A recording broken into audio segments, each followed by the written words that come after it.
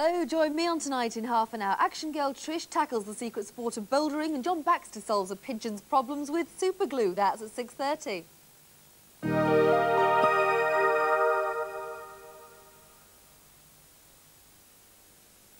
Thursday on Yorkshire.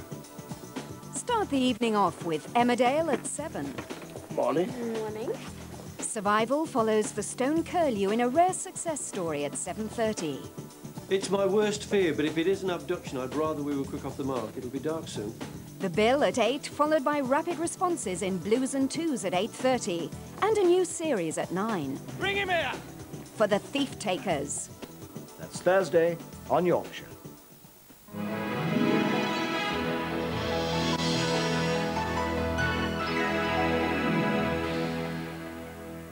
Now on Yorkshire, we've Calendar, presented by Christa Ackroyd and Mike Morris.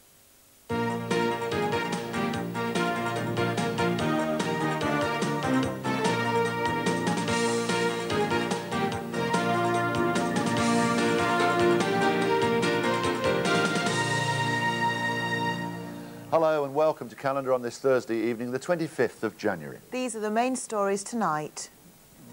The legacy of nurse Beverley Allitt. Victims' parents fight for compensation for their suffering. The experts said that because we wasn't there at the time, we don't qualify. £79 a year to keep him alive, but the government won't pay. And meet Kelvin, the victim of animal cruelty, who could be saved by a change in the law. It's almost five years since nurse Beverley Allitt murdered four children at a Lincolnshire hospital and harmed nine others. Many were left disabled for life, but the parents of the victims are still fighting for compensation. Tonight, Calendar can reveal that the families are being forced to take court action to claim payments for the trauma that they've suffered. With this exclusive report, Jim Greensmith. For the past five years, Peter Phillips has kept a detailed diary of what happened when his daughters were in hospital. Katie Phillips survived an attack by Beverley Allitt. Twin sister Becky died. Allitt was found guilty of murdering four children and attacking nine other patients at Grantham Hospital in Lincolnshire.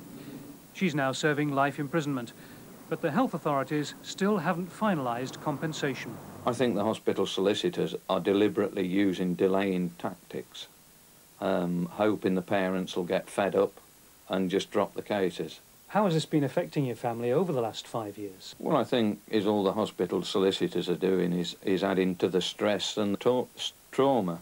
Um, I think they're actually making us suffer just as much as Beverley Allitt did. Katie Phillips has brain damage. She has therapy at a medical centre in America which uses dolphins to develop children's abilities. The Phillips know they will get trauma compensation eventually, but some families have been told they don't qualify after the Hillsborough disaster ruling that if people weren't present at the time, they can't claim for trauma. When schoolboy Michael Davidson was attacked by Allitt, his parents weren't at the hospital. According to the psychiatrist, um, I was in need of uh, um, payment because I was completely traumatised by it. But the experts said that because we wasn't there at the time, we don't qualify, so our case has been chucked out. It's incomprehensible, really, why the health authority, I mean, they're supposed to look after people's health, not keep them permanently traumatised. The Trent Health Authority made interim payments to the victims as soon as Allitt was convicted. Five years on, they now say they hope to make interim ex gratia payments for post-traumatic stress. But that won't stop court action by the parents. It has now been three years since proceedings were started on behalf of these parents, and I find it inconceivable that we are still awaiting to hear from the health authority the offers to compensate those parents for what they went through. And the parents also remember this comment made immediately after Allitt was convicted. In the exceptional circumstances of this case, and regardless of any legal liability, the health authorities wish to provide some recompense to the hospital victims of Beverley Allitt without their having to be involved in further legal action. A court date for the trauma claims is expected soon. Well, with us is uh, Charles Gillett. Uh, Charles, a solicitor who specialises in these sort of cases, although not, it must be said, the uh, Allitt case in particular. Thanks for joining us. Um, it does seem, and I know this is an old route we're taking here, but compensation depends, it can depend on a question of minutes. How fast did the parents, how were the parents on getting to a hospital? How fast were they on getting to the scene of a tragedy? It does seem almost a nonsense. Well, in this type of case, the law is very clear that parents uh, whose children are injured in this sort of circumstance are only entitled to claim damages for the stress they suffer if they see the accident itself or its immediate aftermath, Mm. which is fairly closely defined um, uh, and would probably not be a period more than 20 or 30 minutes after the accident. You see, I mean, uh, this is where the law would seem to be insensitive. Clearly, parents who are absent may actually take on a far greater burden of guilt and actually be even more traumatised. Well, that's certainly true. Different people obviously react in different ways, but I think the supposition which you make is a fair one. The Law Commission has recently published a paper, in fact, recommending changing the law in this field.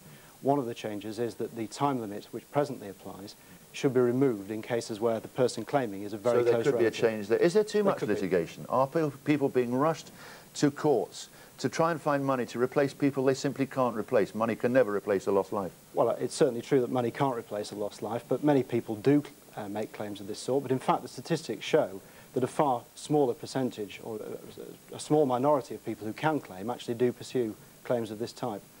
We must leave it there. Thank you for joining us, Mr. Gillett. Thank you. Tonight's other main story is that an inquest has begun on a woman who died after what should have been a routine operation at Grimsby Hospital. Kay Hallberg should have been ready to leave hospital just hours after having surgery. But her husband Michael told a court today she never returned home. An investigation's already been launched into patient care at the hospital. Paul Burland reports from Grimsby Coroner's Court.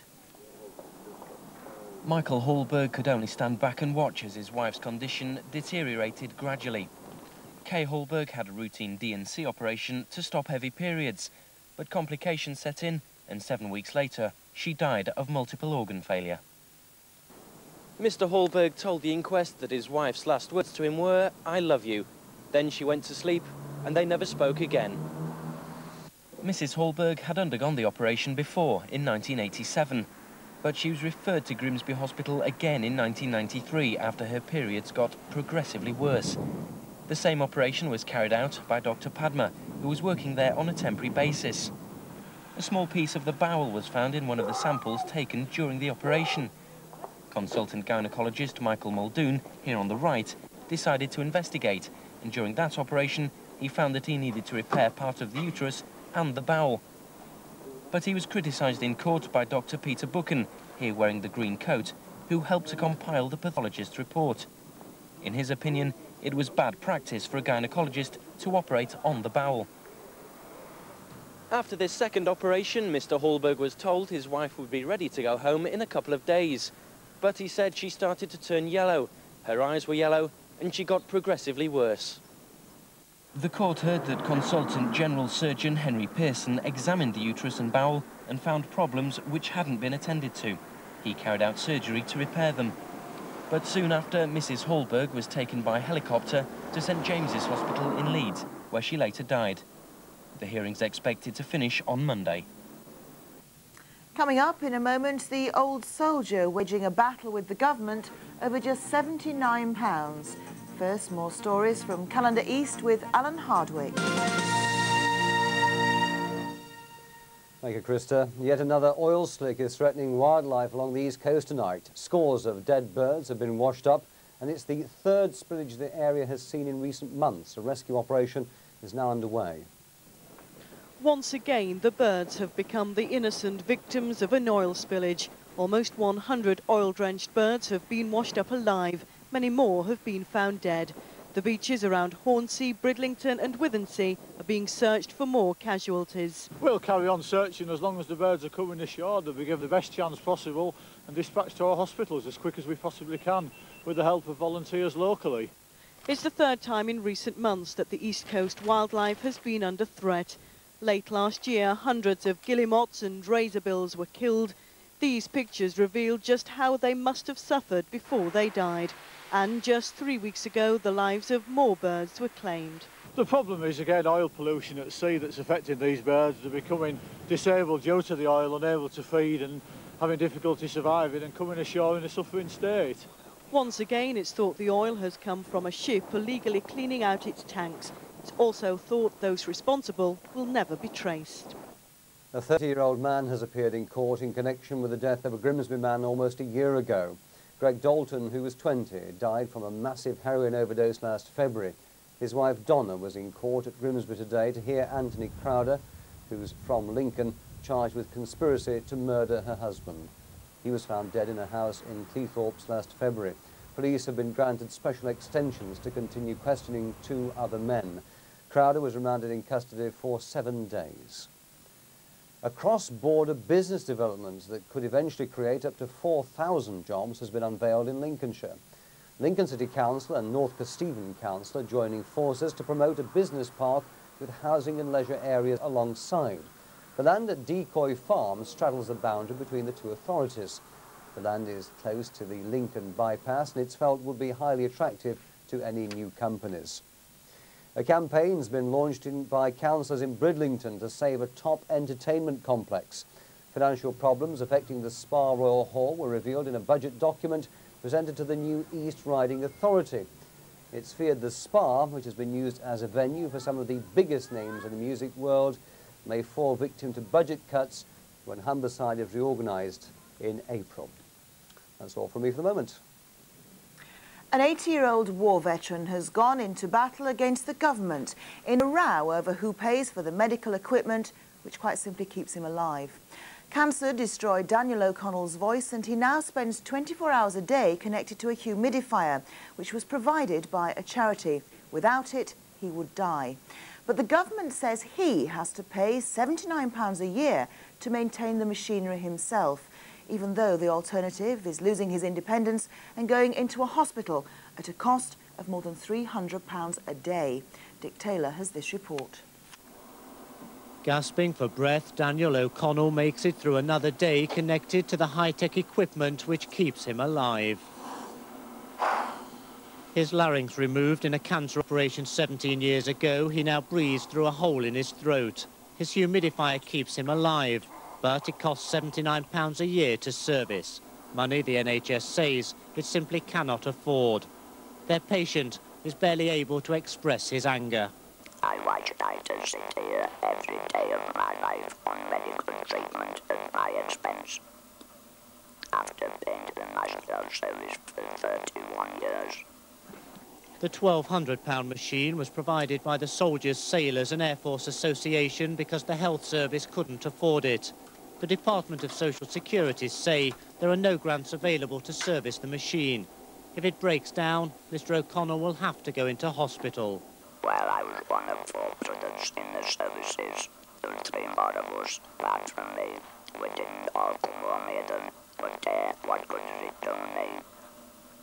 What dance am I getting now? The row provoked a furious exchange in the Commons. Cannot afford to supply life-saving equipment such as a nebulizer and humidifier to an 80-year-old constituent of mine suffering from cancer. Well, I suggest the honourable gentleman provides my right honourable friend with the details of that case so that it can be examined. And if he, were if he were genuinely concerned about the matter, that is what he would have done. Daniel O'Donnell can't afford to pay himself. He believes that after offering to lay down his life in the war, the authorities owe him a debt of honour, a debt they're now refusing to pay. And the Benefits Agency, which oversees most of the government's benefits payments, have just promised a full investigation as to whether any help can now be given to Mr O'Connell. But for the moment, we can now talk to Bill Michie, Mr Connell's MP. Mr Michie, we saw you there crossing swords with the Prime Minister. Can you really offer any hope of help for Bill? Yes, I think we can. Um, uh, the very fact that uh, uh, it's been highlighted on your programme, the very fact that the uh, Prime Minister got rather upset about uh, the content of my question. And uh, just, I've just heard for the first time through uh, your programme that the uh, welfare people are looking again at this particular case. So as far as I'm concerned, progress is being made after a long, long time. My question is quite simple. Why have we had to wait this long when Daniel, who's been quite good, looking after himself, saving the health uh, service lots of money, why is it well, we had to wait so long to get some action? I mean, obviously, Daniel is very upset. Do you think it's any way to treat somebody who served his country and has been a really good member of the community for so long? No, absolutely not, and he's quite right. He's paid 31 years into the health service, obviously worked, obviously served his country, and obviously paid his taxes. And I think it's a bad deal for someone at his age not getting this treatment free, including having the equipment bought for him. It does seem a little bit of a nonsense when it would cost £300 a day if Daniel had to go into hospital. Yeah, absolutely crazy. I mean, it's economic madness, but the way things work now with the health service and including the, uh, the Department of Social Services is everything has to work by rule and regulation and not enough um, decisions can be made which are sensible in the case of, uh, of Daniel, okay. which says, OK, let's deal with it, let's pay the money out. Thanks very much, Mr Michie. OK. Still to come then, is this really the end of the line for a piece of history?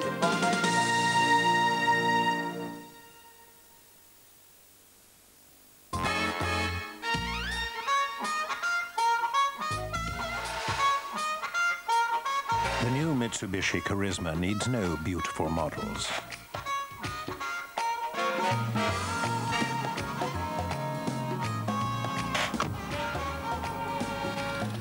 Exotic locations.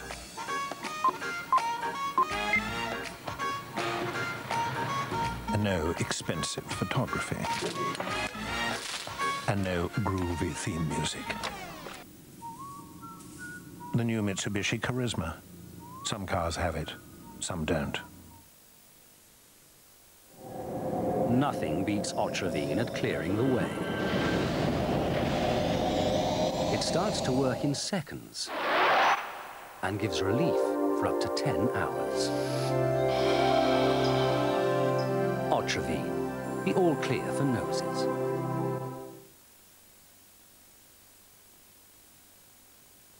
Join me for tonight in 15 minutes. Vet John Baxter solves a pigeon's problems with super glue and we investigate the secret sport of bouldering. That's after calendar.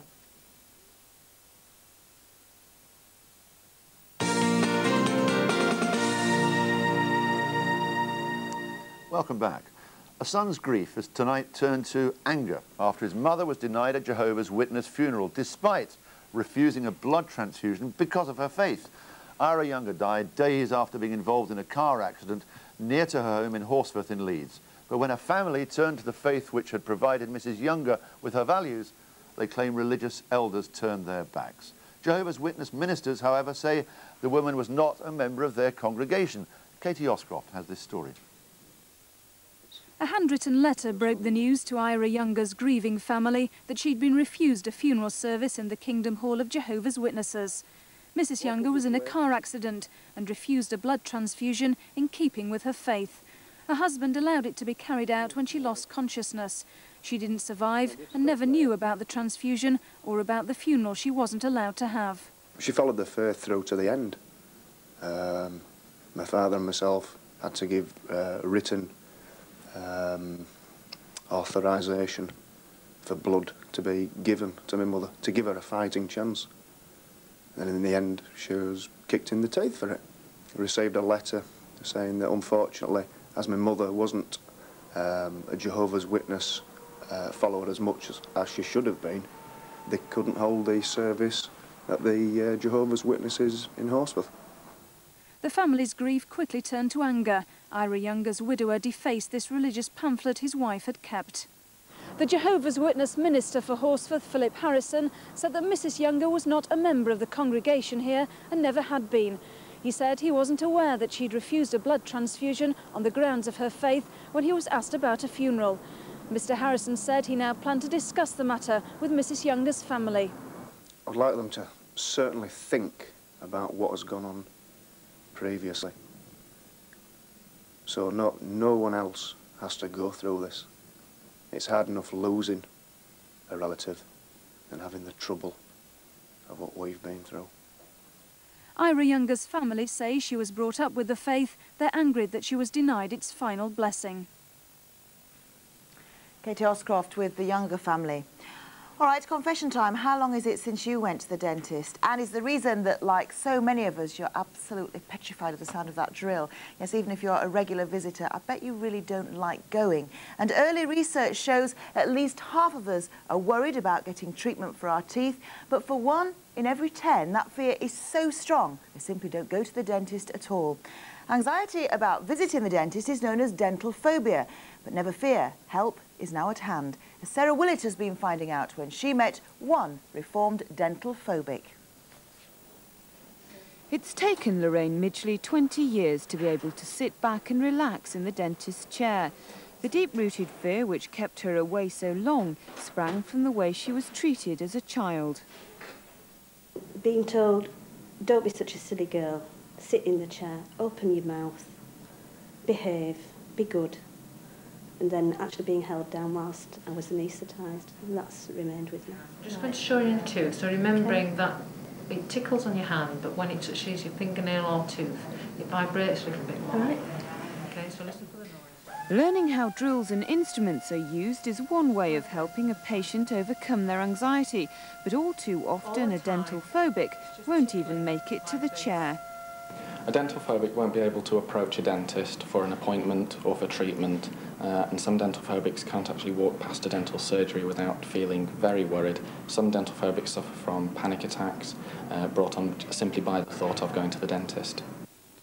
High-tech goggles allowing people to watch their favourite physios is another method of relaxation, but experts say more detailed research is needed if dentists are to find out the cause of the phobia. People have different needs. Some people may need to have some sessions um, with a psychologist, a, a clinical psychologist, um, or a dentist who has been trained in, in psychological techniques. And it may take many visits for them to get used to um, a particular dentist and also having the opportunity to get used to equipment before actually embarking on dental treatment itself. Research will begin at the Leeds Dental Institute in March, and experts hope in the long term it'll mean more people conquering their fears with a smile. Oh, there we are then. Oh, I still don't fancy it, you know. The more they try to distract me, the more my mind concentrates on that big long needle. Oh, well, I can tell you we've got help on hand for the humble hedgehog. First, though, more of today's news. Yes, more news now from Calendar East News Desk. Coast Guards are demanding answers from the skipper of a ship which was at the centre of a huge search operation. The vessel was spotted off the German coast this morning. The crew was safe and well and finally made radio contact with port authorities four days after leaving Grimsby. They were apparently unaware of the alert. Relief at Humber Coast Guard as the German ship was finally located. The search for the Halstenbeck, which left Grimsby four days ago bound for Denmark, was launched after it failed to answer calls and couldn't be traced. The ship carrying ferrous sulfate had six people on board.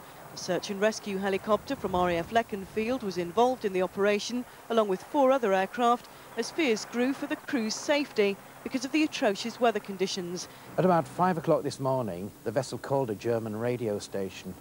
I think the words from the radio station were rather choice, something like, where the hell have you been? But the cost of the operation is put at tens of thousands of pounds an hour, and the agencies involved will not be able to recoup any money from the vessel's skipper or owner. Questions are now being asked. We would just want to know that, in fact, all was well on board and that why the communications had not been answered, why all efforts to contact the ship yesterday uh, and he hadn't heard one call. However, Humber Coast Guard say yesterday's operation is all part of the service and a price cannot be put on a life. Conservation experts involved in the restoration of both Windsor Castle and York Minster are now turning their attention to a church in Lincolnshire. The project means local people will at last be able to see one of the church's ancient treasures.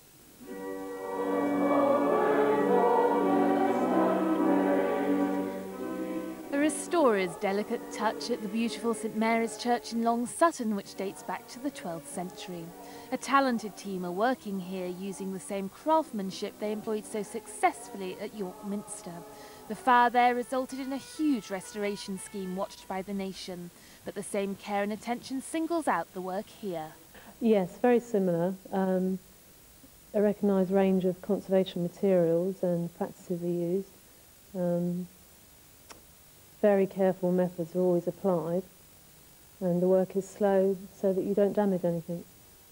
The project centres around a large panel showing the Ten Commandments that's been hidden from the public's gaze behind a curtain for years.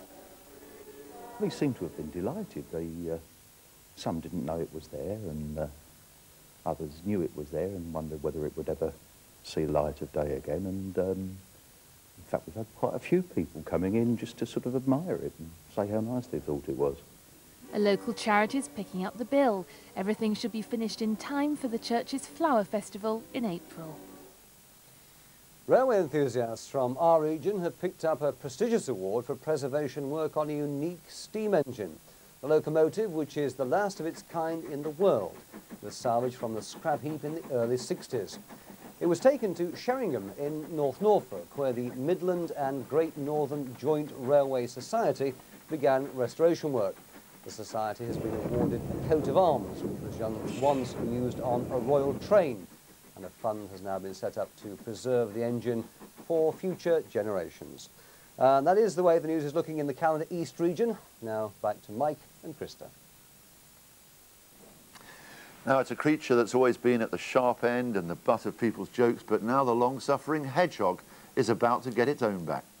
An injured hedgehog from Hull is to become a national celebrity because a revived bill from one of our region's MPs will outlaw brutality towards wild animals. Those prosecuted face a prison sentence and that'll help our Kelvin.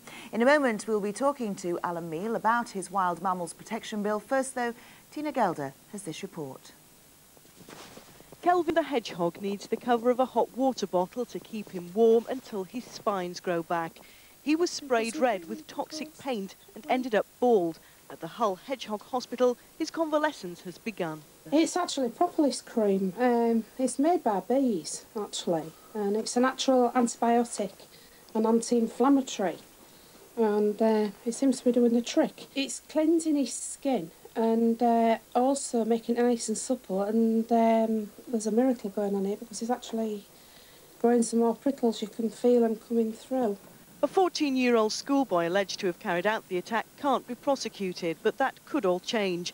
Tomorrow, a bill from the Mansfield MP, Alan Meale, has its second reading in Parliament. It would offer the first legal protection for all wild animals. Kelvin, meanwhile, is at the centre of a campaign by the RSPCA. Don't want to cast gloom and doom, but we come across regular, serious incidents of cruelty to wild animals which we cannot pursue through the courts. And that's why we think it's necessary. Kelvin's story is just one of many, but it's hoped his plight will end acts of gratuitous cruelty towards helpless creatures. You can't understand why they do it, can you? Well, in Westminster Studio is the Mansfield MP, Alan Meale.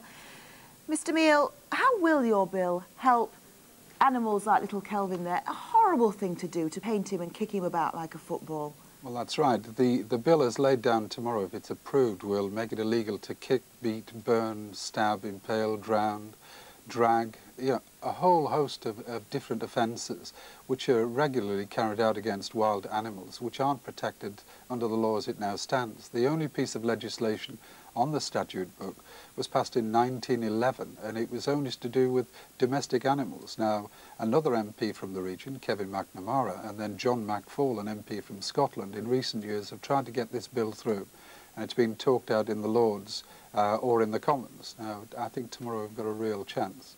Good, good. Just, just what are you wanting what extra powers are you wanting for the RSPCA? Because they always say we're so helpless when we come across a case like this. Well, it is. What, what we want, this bill marks a, a landmark in important general legislation for animal welfare, for wild animal uh, uh, welfare. What it will do, it will enable the courts and RSPC officers and indeed the police to actually take action against the thousands of cases which are found every year against a whole variety of wild animals, whether they be foxes, hedgehogs, deer, a whole range of them. The most dastardly things occur year in, year out. Well, I hope you don't think I've been political when we wish you well, and uh, we'll speak to you again probably tomorrow. Thanks very much. You're wearing I Love Kelvin bag. Finally, some sad news for all you gourmet food lovers out there. The Barnsley chop is facing the chop. Actually, the chop itself will live on, so despair not. But the restaurant that's become its spiritual home may be demolished to make way for a supermarket. So are they crying into their mint sauce down in South Yorkshire? Chris Kiddy's been investigating. Dodworth near Barnsley, where men are men and meat is a serious business. This is Dodworth, where men are men and meat is a serious business. I've just said that, haven't I? Do you know what a Barnsley chop is? Uh, I've no idea. Never heard of it, mate. You must know, you're from Barnsley. What idea? Well, these Barnsley chops are straight-talking John Smith told me. A Barnsley chop is a cut of lamb from a whole saddle. Well, we buy whole saddles of lamb, we trim them, and we cut them into three. So there are only three Barnsley chops per sheep. He's probably seen more Barnsley chops than you've had hot dinners. They serve upwards of 150 a week at this Dodworth eatery, and their fame has spread far and wide. We've sent recipes right out to Australia to a immigrant British butcher in one part of Australia, who now sells it to the Australians in Australia. It was served to the Prince of Wales at the Town Hall in 1933. But alas and alack, the home of the chop could face the axe. Jim wants to retire next year, and a developer with an eye on the place wants to turn the site into a supermarket instead. Sad for me, sad for my wife, yes. We've enjoyed our life working here. And it's had its ups and downs and moments of stress, but it's had 90% more happiness to it than uh, one would look at from the outside. Do you know what a Barnsley chop is? It's uh, a sort of big lamb, lamb chop, isn't it? You know, don't you? Mm. You're no fun, are you? I haven't seen Chris Kiddy since that report, have you? I know, because he's actually stuffing his face with these. Rest in peace. There we go. Oh, I of the ashes at cricket. We've got the Barnsley chop here in the Calendar studio. Now, after the whelks last night, promise you're not going to make me eat that, are you? Yeah, we had a problem with the Welsh. Shall we reveal the truth one day? No, we'll never tell you what really happened with the whelks. Let's That's it from us. Let's reveal instead Christine and tonight. But I know the truth. Yes, hello and welcome to tonight. We've got John Baxter and a pigeon with bad feet. Trish goes bouldering and stand by to see Gaynor as you've never seen her before.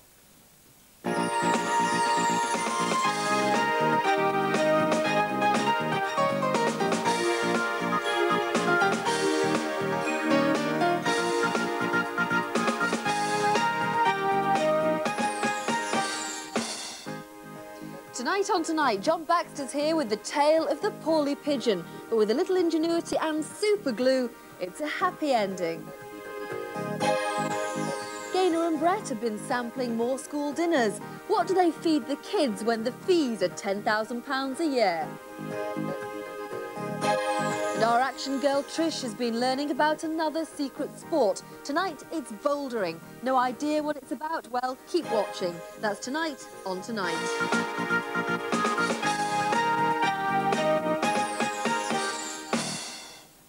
Hello and welcome to Thursday on Tonight and welcome also to John Baxter, our vet, and his nurse Bernie Scatchard. John is here tonight to talk about pigeons, but uh, you look more like a penguin tonight. What are you doing? Well, it is Burns night, but I'm not going to a Burns supper. I'm going to talk at the Civic Hall to the Wheatfields Hospice annual dinner. And no haggis on the menu? Well, there'll be a special wee bit for me, I I would have thought so for a Scot like you. Who's this? Well, this is a, just a, a wee pigeon we keep at the surgery just now, but I've really brought it in to show you that this is a good method if you have a legless pigeon and you want to give it a bit of pigeon physiotherapy. It's made up from this paper harness like this. You just build it around the pigeon and then you can give it a wee bit of, see, physiotherapy, so it can use its oh. legs and yet stay upright. And you can feed it in an upright position. And if, it's, if you're busy, you can always hang it up somewhere and come back to it later when you're not so busy. So what's wrong with this pigeon? What's the problem? Nothing, this one's okay. I just brought it in to show you how the harness works. So you Because- dragged the poor thing in off the street just for us? No, no, it's a, it's a homing pigeon. It belongs to quite a well-known pigeon breeder in Horsforth. Do you treat many pigeons? Quite a few, yeah. What kind of injuries do they usually have? Because they are quite vulnerable, I would have imagined. They are. The worst one is either if they're racing pigeons and they fly too low, they can get ripped on barbed wire fences and you have to stitch them up. Or a lot of them get this thing wrong with their feet where they get stuff wound around their feet, cuts in and they can lose legs, toes, the lot. Well, we're about to see one very such pigeon. Let's have a look at uh, what you could do for that one. Looks a bit like beer, this is, rather than antiseptic solution, doesn't it? That's good. You know, vets get all kinds of animals coming in through the surgery door, even pigeons with bad feet. But this one was spotted by a Yorkshire television security man. He looked out, and outside the main building, there's this poor wee bird hobbling about. And it was so poorly, he was able to pick it up and bring it to me. And you can just see the results of the problem. Around its feet was wound bits of thread and nylon. You've probably seen them about the cities with toes missing and things, and this is what happens. Thread gets caught around, acts like a ligature, cuts into the skin, and you see here, it's cut into the skin of the leg, cut into the skin of the toe, and here, in actual fact, it cut in so much that a toe dropped off. But despite losing that toe, this foot is now fully functional. But this one, I'm afraid, has got contraction of the tendons, and the toes are curling under. So although it can put the foot down, it can't spread the toes the way it should. So we've had a wee device made, it wasn't hard, made it a wee bit of cardboard, like this. And what we're doing is, I'll tell you what, let's just dry the feet off first, Bernie, quickly, like that. Then we put the wee bit of cardboard, like that, on its foot, put the toes like that, so the cardboard is actually holding the toes in place. And then with a little piece of bandage, we just put this round the foot, like that, and the cardboard holds the toes where I want them. And to keep it there, we need a wee bit of elastoplast. Hear the budgie in the background? Mm-hmm. Just thinking, oh, am I next? That's lovely. Let's have a wee look, be. There it is. Now then, bird. So, steady, steady, steady. So you see the idea. Now it can stand on that,